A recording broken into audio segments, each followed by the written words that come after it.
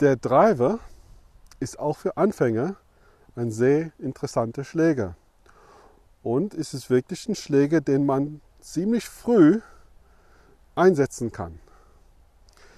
Zum Kauf eines Drivers. Manchmal kommen Schüler zu mir, die nicht lange Golf spielen.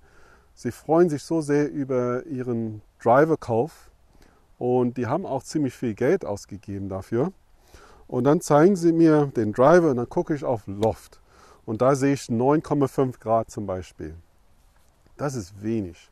Also etwas mehr Loft ist besser. Ich würde sagen, für Herren 11 Grad circa und für Damen 13, 14 Grad.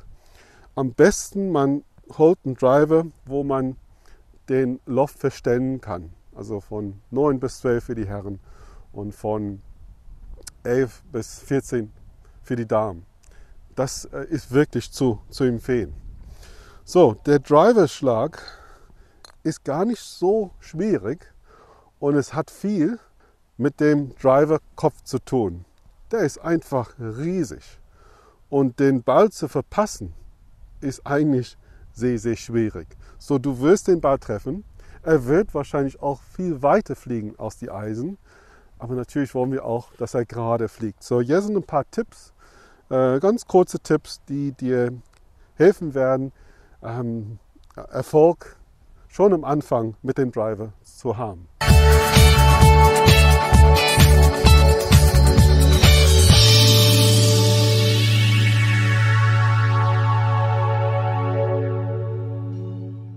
Okay, so, breite stehen bitte.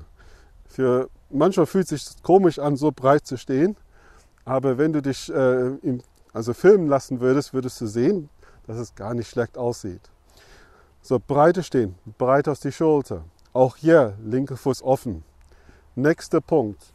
Guck mal, dass der Ball gegenüber der Ferse, der vorderen Ferse liegt. Und dann richte bitte wie immer den Schläger zum Ziel aus, die Füße rechtwinklig, die Hände bitte in der Mitte, nicht vorne, weil der Ball vorne liegt, die Hände bitte immer am Bauchnabel haben. Der Schaft ist dann ziemlich gerade oder sogar schräg weg vom Ziel. Und dann möchte ich, dass du Folgendes tust, nachdem du den Stand eingenommen hast. Die hintere Schulter, also die rechte Schulter bei mir, kipp sie leicht nach unten. Die wird sowieso unten sein, weil du so breit stehst. Wenn ich das übertreibe, geht diese Seite tiefer und tiefer. Aber wir wollen auf jeden Fall die Seite tiefer haben dass die Wirbelsäule leicht nach rechts neigt. Diese leicht schiefe Position ist wichtig, weil der Schläger hat so wenig Luft, um den Ball hochzubekommen. Wir müssen ihm leicht helfen, den Ball hochzubekommen, indem der Ball leicht in der Aufwärtsbewegung getroffen wird. Und ich sage leicht, ein, zwei Grad, nicht bitte so. Okay, so wenn ich, die, wenn ich breite stehe und wenn ich die Schulter ein bisschen runter tue, habe ich eine schiefe Wirbelsäule. Von da musst du bitte wieder schauen, dass du einen langsamen, vollen Rückschwung machst. Auf jeden Fall sollte der Rücken zum Ziel zeigen. Aber schau meinen Wirbelsäulewinkel, der ist immer noch, wie er beim Stand war, nicht so. Und auch beim Abschwingen, während ich den Abschwung wieder ruhig starte, ist die Wirbelsäuleposition gleich. Ich habe meinen Kopf nicht nach vorne geneigt. Und mach erstmal nur ein paar halbe Schwünge. Und die Idee ist, den Wirbelsäulewinkel so beizubehalten. Wo ist mein Gewicht? Mein Gewicht ist vorne.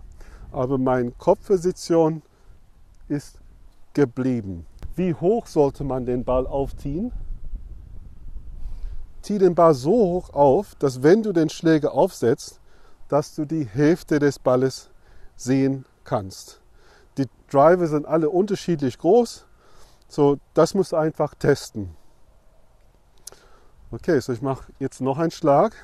Ich werde aber mein Schwungtempo langsam lassen beim Ausrollen und beim Abschwingen. So, Rücken zum Ziel, langsam abschwingen, bleib in der schiefen Wirbelsäuleposition